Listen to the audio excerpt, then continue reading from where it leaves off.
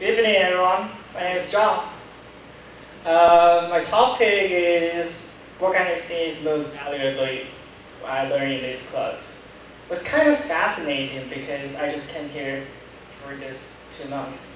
But first, I think everyone joining a scene or participate in the club must be some purpose in their playing. So for me, I think what I want to learn from this club, I think there are three, three points. The first point is English skills.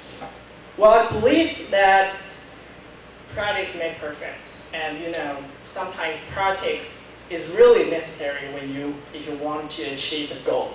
And you want to learn something, the best thing is that you must, you must have a great environment and I believe that Toastmaster is a great environment because everyone are open-minded, everyone are confident. And that must be a key point for me to learn some English skills.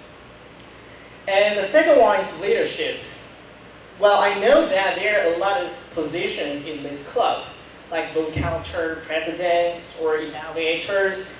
And each position you can learn a lot of skills and you know I I always have a lot of you know creative ideas so in the future I really want to be like a you know like a leader or a president or something and share my thoughts with the members here and then I could you know, cooperate and create something new in this club. And the third part is friendship.